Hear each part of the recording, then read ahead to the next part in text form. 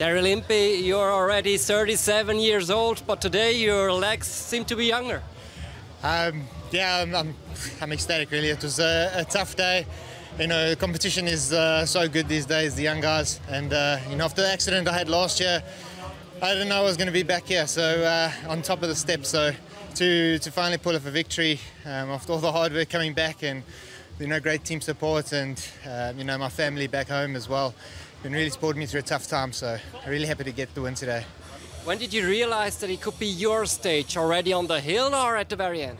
Uh, I felt pretty good going over the last climb, uh, and I found a good position there behind EF, and uh, you know had a nice sit there coming to the last k and a half to go, and then really uh, I thought I'd lost it all with about 800 meters to go. I thought I was a little bit in the mix there, but uh, the gap opened on the left-hand side, and I just went for it, and. Uh, I actually was going to about to put my hands up, but I saw a blue flash coming on my left-hand side, so I had to go all the way to the line and do the throw. So I wasn't sure I won, so I was really happy that I did the throw.